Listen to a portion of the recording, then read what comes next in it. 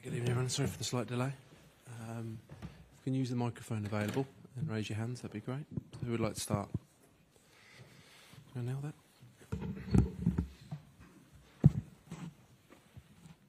Gareth, what was your take on that? Were you frustrated by what you saw, or what was missing?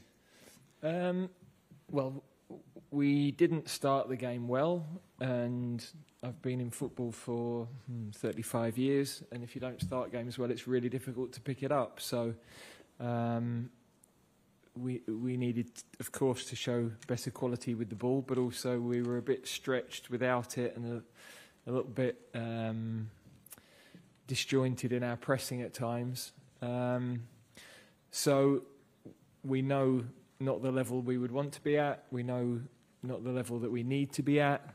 But equally, this group of players have been exceptional, and I'm not going to start getting into their ribs too much about a performance like tonight. It's uh, uh, we made a few changes.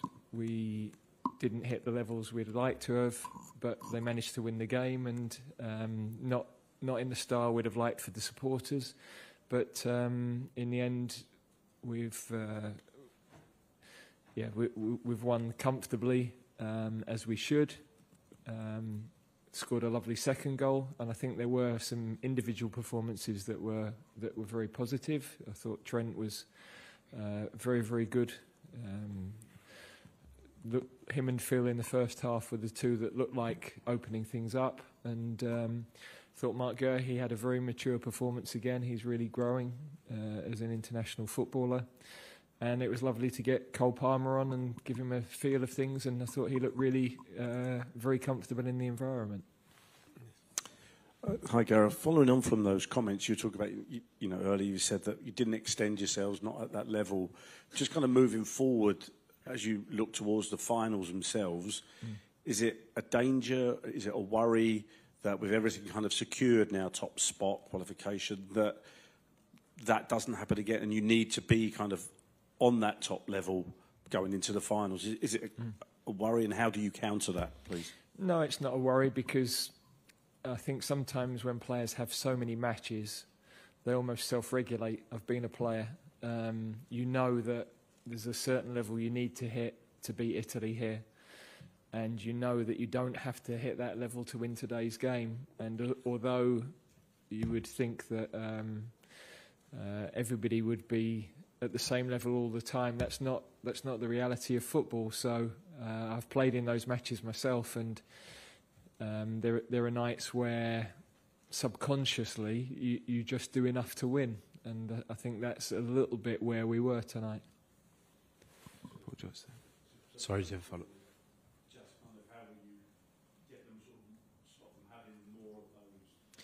Well, we, we wouldn't be able to play against. Uh, you know, in March, the teams we've got in March, we we wouldn't be, we wouldn't get away with it, and the the players just would have a different level of uh, motivation. This week was always going to be difficult. We've already qualified. Um, the players are in the middle of a load of matches. We're trying to look after a few physically with the team selection, so you're making changes that, had we needed to win tonight to qualify, might be different. So um, yeah, the whole week has been a little bit like that. Couldn't really get the players on the pitch till Wednesday, and um, as a consequence, we were we were flat. And uh, you know, I I accept that. That's um, that's where we were. But I'm not going to get into the players about that. I know I know why, and um, they've won another game of football.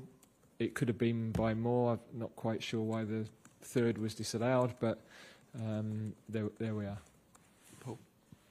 Uh, Gareth, was Conor uh, Gallagher taken off with an injury or? No, I just wanted to change the shape a little bit. Um, Fick was on a yellow.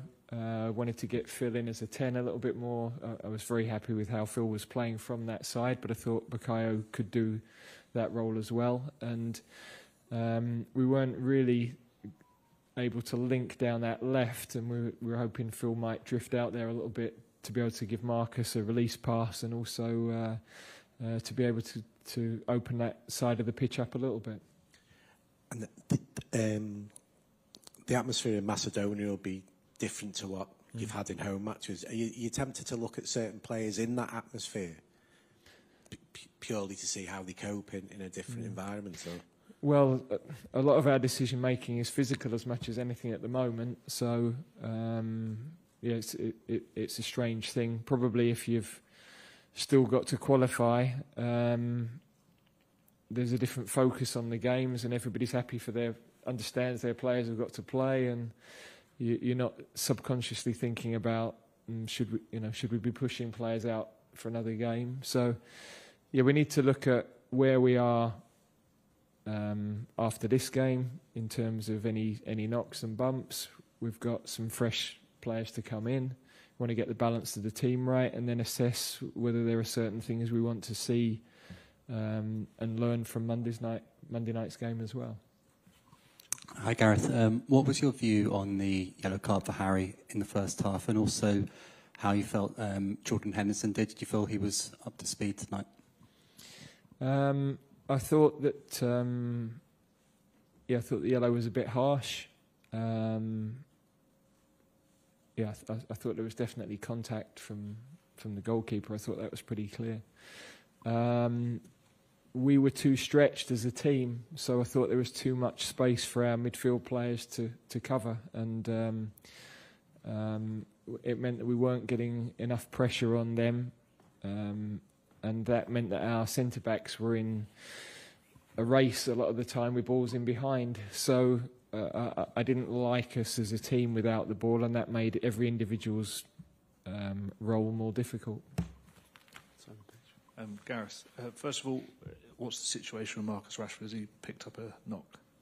Uh, I think he's probably okay, but we just thought, given the nature of the collision, it, it was a chance to get Cole into the game, and um, yeah, I haven't I haven't assessed too much, but I think he was okay when he came off. And just following on from the question about North Macedonia, you're all but assured of the top seed now. You've you've you've said that self that subconsciously the players maybe have let the foot off the gas tiny bit. Um, what do you want to see from them in in Skopje, and what are you expecting from the, the hosts? Well, we've we've had a, a really good calendar year, and um, we want we want to finish it well. Simple as that. Um, we we should be aiming to go, um, if we can, into the tournament unbeaten. We've got some tough games coming coming ahead, but um, that I mean, I mean that. I'm a bit loath to say that because then you start looking for draws when you, you want to go and win matches as well. So uh, I want to get the messaging right on that. But um, you know, the, it, it's good for us to be away from Wembley again, uh, a, a challenging environment because that's what we're going to be in um, next summer. Last question. Uh, Gareth, we have seen Foden in two positions today. Uh, first on the right hand side and then behind the striker. Where do you think he can provide more for the team? I, I think he can do either. Um, he, um, I, I thought his quality in the wide position was really good.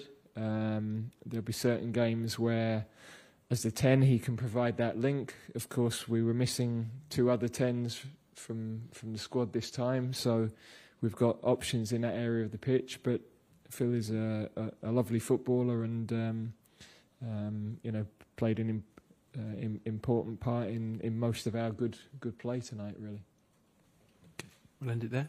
Thanks, guys. thank you.